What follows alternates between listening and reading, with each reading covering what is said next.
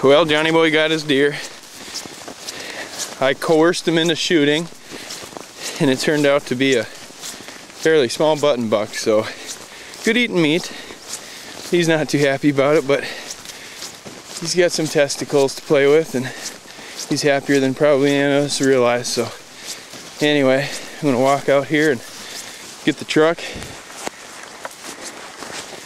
so he can use his famed gutting knife and his sagging saw that he talks so much about. So I want to see him in action. I'll show you.